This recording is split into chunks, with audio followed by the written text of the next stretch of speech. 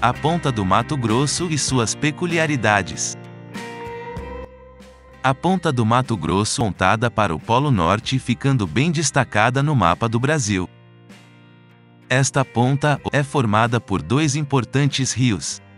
À esquerda está o rio Juruena e à direita está o rio Teles Pires, que também é chamado de rio São Manuel. Os rios Juruena e o Teles Pires se encontram na ponta do Mato Grosso formando então o rio Tapajós. O rio Juruena corre pela margem esquerda por 204 quilômetros e corta a divisa entre Mato Grosso e o estado do Amazonas. O rio Teles Pires corre pela margem direita por 187 quilômetros e corta a divisa entre Mato Grosso e o estado do Pará. A ponta do Mato Grosso pertence ao município de Apiacás, que é o município mais ao norte da região centro-oeste do Brasil.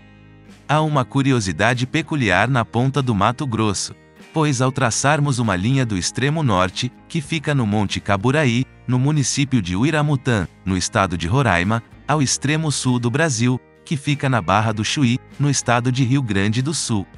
E traçarmos outra linha em diagonal, do extremo leste, que fica na Ponta dos Seixas em João Pessoa da Paraíba, ao extremo oeste do Brasil, que fica na nascente do rio Moa, na Serra da Contamana, no município de Mâncio Lima, no estado do Acre vemos que no cruzamento das linhas está o centro geográfico do Brasil, centro dos extremos, localizado dentro da ponta do Mato Grosso.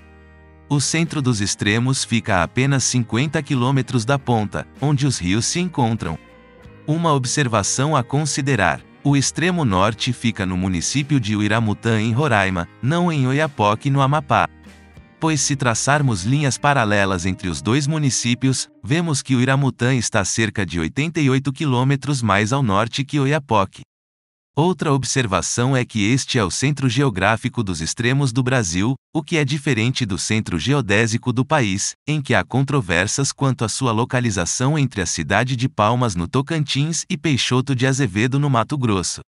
O centro geográfico está a 1.464 quilômetros em linha reta do extremo norte, a 2.914 quilômetros do extremo sul, a 2.579 quilômetros do extremo leste, e a 1.747 quilômetros do extremo oeste. O eixo dos extremos norte e sul, que vai do Monte Caburaí no município de Uiramutã em Roraima, a Barra do Chuí em Rio Grande do Sul tem 4.394 quilômetros de extensão, e o eixo leste-oeste que vai da Ponta dos Seixas em João Pessoa, na Paraíba, ao município de Mâncio Lima, no Acre, tem 4.319 quilômetros de extensão. Curiosamente, os eixos norte-sul e leste-oeste têm quase a mesma distância, o eixo norte-sul tem apenas 75 quilômetros a mais de extensão. A ponta do Mato Grosso é uma densa floresta, pois nela está 50%, 971.935 hectares, da área do Parque Nacional do Juruena. Uma unidade de conservação brasileira de proteção integral à natureza localizada nos estados de Mato Grosso e do Amazonas, com território distribuído pelos municípios de Apiacás, Apuí, Couniza, Cotriguaçu, Maués e Nova Bandeirantes. Na ponta do Mato Grosso está a Barra de São Manuel, uma pequena comunidade ribeirinha do sul do Amazonas, situada na confluência dos rios Teles Pires e Juruena, onde se forma o Tapajós. O turismo de pesca esportiva e caminhadas por trilhas é comum na região. Na região está a divisa dos três estados, Mato Grosso, Amazonas e Pará. O município de Apiacás, onde está a ponta do Mato Grosso, está a uma altitude de 220 metros. A população municipal foi estimada em 8.590 habitantes, pelo Instituto Brasileiro de Geografia e Estatística, IBGE, em 2021. Possui uma área de 20.489 km.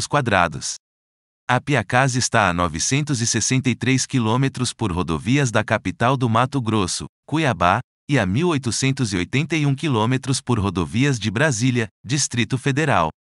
O Parque Nacional do Juruena integra o mosaico formado pelas áreas protegidas que formam o corredor ecológico dos ecótones sul-amazônicos.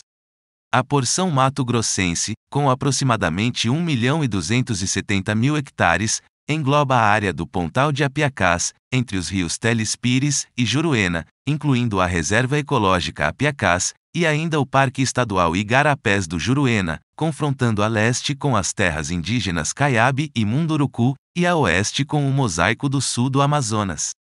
Houve uma teoria sobre uma possível cidade secreta chamada de Ratanabá, na região do município de Apiacás. Porém, segundo especialistas, essa tese não encontra respaldo na realidade. Dizia que as linhas retas observadas na floresta do Pontal do Apiacás seriam marcas das construções de uma antiga cidade até então escondida.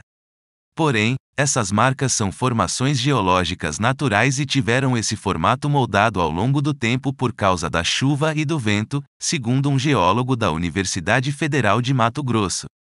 Quando essas rochas ficam expostas ao sol, chuva, entre outros agentes da dinâmica externa, as áreas próximas a essas estruturas lineares tendem a ser erodidas de forma diferente das rochas que está no entorno. Ou seja, essas estruturas lineares são resultado do modelamento do relevo, segundo o geólogo. Além destas marcas, há muitas crateras na pontal do Apiacás, como a Cratera das Almas e Cratera Nadai, próximas ao centro geográfico, e também imensos lagos como o Lago Murilo Gama com mais de um quilômetro de extensão.